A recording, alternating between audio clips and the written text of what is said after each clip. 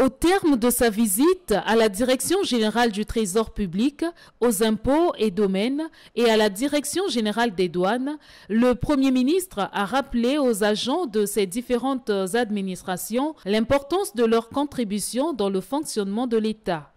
En venant faire le tour des administrations, des régies financières, nous avons simplement voulu matérialiser ce que nous avons dit dans la présentation de notre programme d'action du gouvernement.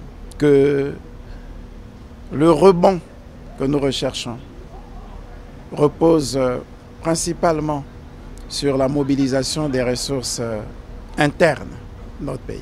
Et ces ressources internes passent nécessairement par ces administrations que nous avons visitées ce matin.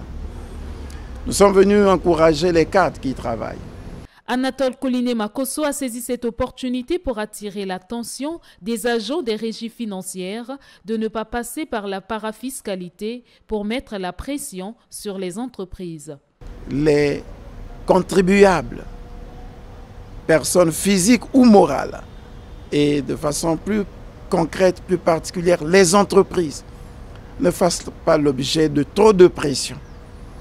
De la même manière qu'eux, ils acceptent faire preuve de beaucoup de sacrifices, de la même manière, ils doivent euh, comprendre la situation dans laquelle se trouvent les entreprises et ne rechercher au sein de cette entreprise que ce qui est dû à l'État. Ne pas asphyxier les entreprises par une parafiscalité abusive, par des actes de concussion, en exigeant des entreprises euh, le paiement de ce qui n'est pas dû à l'État.